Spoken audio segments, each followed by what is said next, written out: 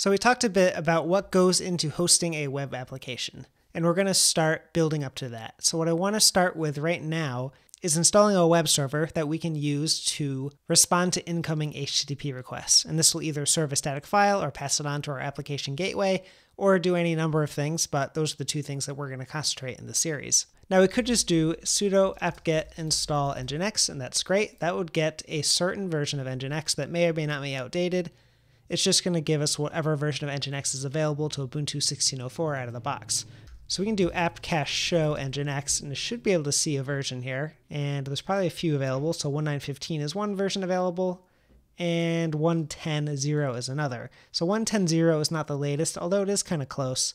What we can do is actually search for a PPA with Ubuntu. So if I Google PPA Nginx stable, I know this one exists already, we get a Launchpad site, and Launchpad is a place for Ubuntu packages. Often you can get official repositories of the latest versions of software, and Nginx stable is one place you can do that as well to get the latest stable branch of Nginx. So we can see we get 1.10.3, which is a bit newer. It'll have some new bug fixes and features.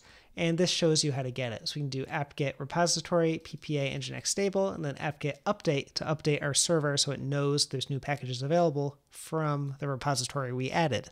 So we'll just go right ahead and add in that command. I'm going to add a dash y flag here so it doesn't prompt me to ask if I really want to do it or not. I know I do. So that'll add the repository. It even adds some keys here so it knows how to confirm with the server that this is a legitimate source of this package.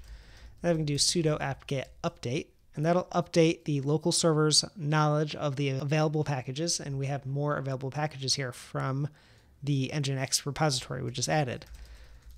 And then we can go ahead and install Nginx. So apt-get install dash y, so it won't prompt me to ask if I'm really sure. It'll install Nginx, and then Nginx should just be up and running when we're done. Okay, that's installed. So we can do curl localhost, and we do get Nginx's default website. And we should be able to go to Safari here and add in the IP address of our server, and we'll see that there as well. Great. So the last thing we're going to cover here is the Nginx configuration setup. And we'll look at a few things there.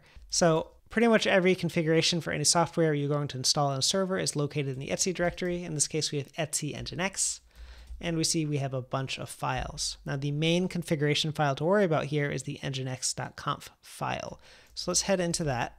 And I'm just going to show you a few different things. First here to notice is that it will include anything in the modules enabled directory that ends in .conf. Now if we head to the bottom here, it's also going to include two other locations, etc nginx conf.d, again anything that ends in .conf, and then anything inside of etc nginx sites enabled and it doesn't matter. It doesn't have to end in .conf. Any file that's in there is going to get included. So those configuration items are the default ones that you're going to get included with Nginx. So we can throw any file inside of conf.d that ends in .conf, and that'll get loaded. And we can also throw anything inside of modules enabled that ends in .conf, and that'll get loaded. I don't think there's really anything there out of the box. Oop, it has some. Okay, this is perfect. Now, they are symlinks, right? They're not the actual uh, configuration file. They're not an actual .conf file. They're a symlink and they go off somewhere else. So we have this modules available and modules enabled thing. And we'll see modules available is empty. Now, if you wanted to install your own Nginx module, you can put it in the modules available directory and create a symlink inside of the modules enabled directory pointing to whatever is in modules available. And we have a similar setup here. It's just they don't point to something in modules available in the etc nginx directory. Instead, they're in user share nginx modules available, which is just a different location for nginx default um, configuration files and libraries. But this convention is one that's used heavily in Debian and Ubuntu servers. We have available directories and enabled, and sites available or anything dash available is typically a real configuration file or library or something. And then sites enabled is where the program actually reads from. And in sites enabled, you'll typically create a symlink to the item in sites available. And that will allow us to turn off or on configurations as much as we want without actually deleting the configuration file. We just create or destroy a symlink.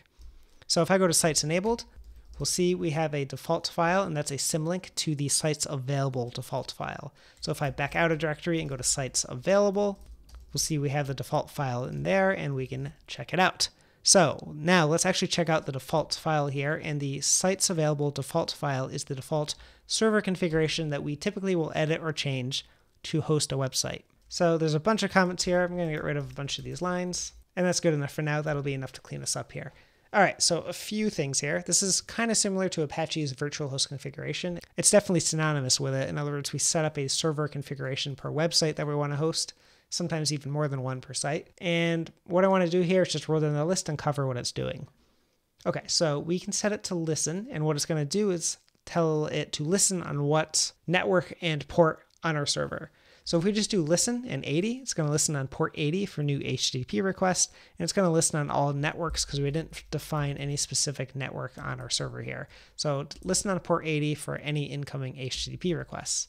Now this weird notation here is actually for IPv6 and this one's for IPv4. So IPv4 are your normal IP addresses like 192.168.1610 or whatever. So by default, this will listen on IPv4 and IPv6 networks if your server has IPv6 enabled. Mine actually doesn't, so I don't even need this line. It won't hurt Nginx to have that line there if you don't use any IPv6 stuff on your server. Now we have this extra item here, default server, and this just says to Nginx that if it doesn't know where to send the web request, if it receives one in port 80 and has no idea where to send it, it doesn't match any of the server configurations, it's actually going to end up at this server configuration because it says this is the default server. So you can only have one configuration that is set as the default server. But of course, that's per port. So if you listen on some other port, like 443 for SSL connections, you can set that as the default server for port 443 as well. Okay, root. Root is the document root. In other words, it's the location on the server is going to look for files when it receives a web request asking for a file. So if it looks for index.html or index.css or styles.css or some JPEG image, it's going to look within var HTML and it's going to append any file path in there. So if I head over here and I look for some path to file.txt, it's going to look on my server for var HTML directory sum, directory paths, directory two, and file.txt. Of course, that does not exist, so we get a 404. So var HTML sum path to file.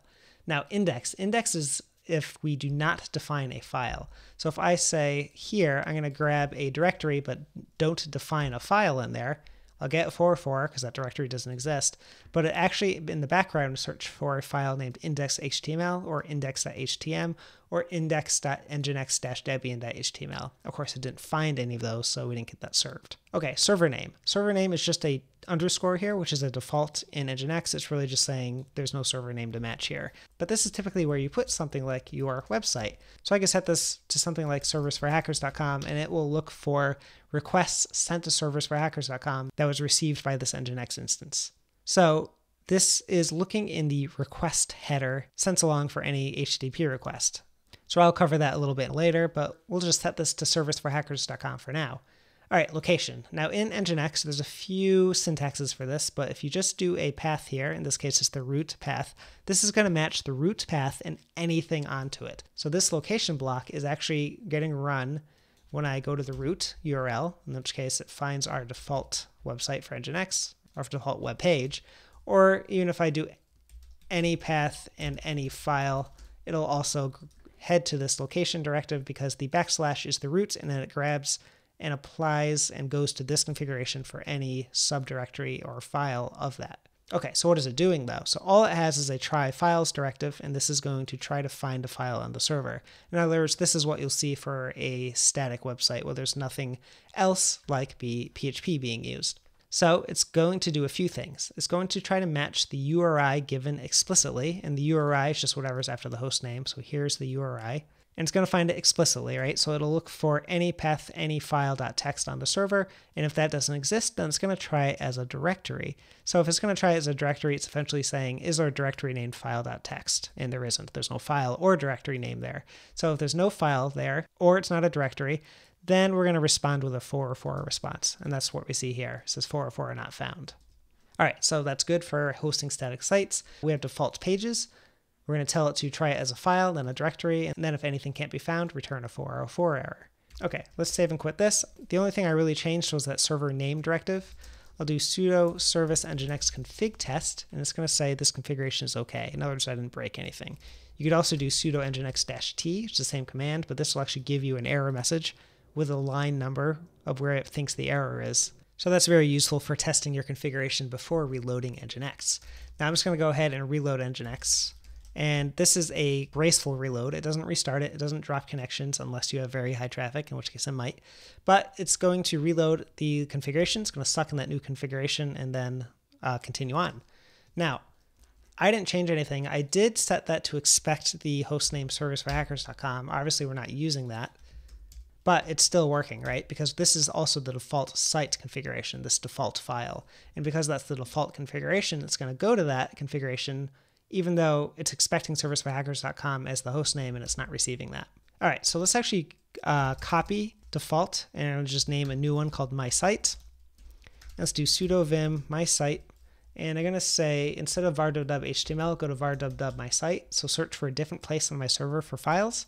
And instead of serversforhackers.com, we're going to say expect to be uh, fideloper.com. And actually, you need a semicolon at the end of these lines.